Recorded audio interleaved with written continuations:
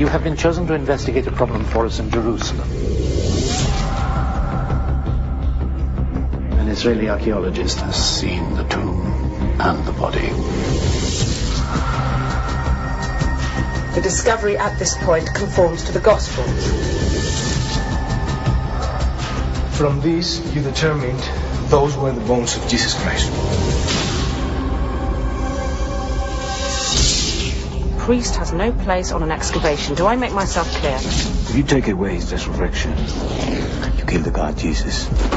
What will you do if you discover that it is Christ in that tomb? A man, like all of us. There is a body in the tomb. You will find out more. Read the Gospels, Father. Oh, believe me, I have. Well, read them as a scientist. I am not a scientist. I am a priest.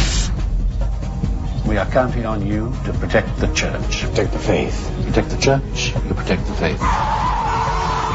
Had the state of Israel involved in something so dangerous to the Christian faith would have serious repercussions for us. Oh my God, the truth. I believe God has no place in politics. Then the blood will be in your hands. You ask me to think like a scientist. I ask you to think with your heart. Christ said the truth will set you free. The truth will set you free, Matt.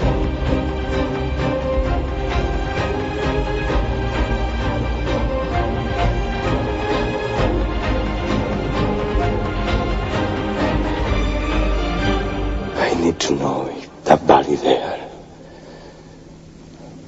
him.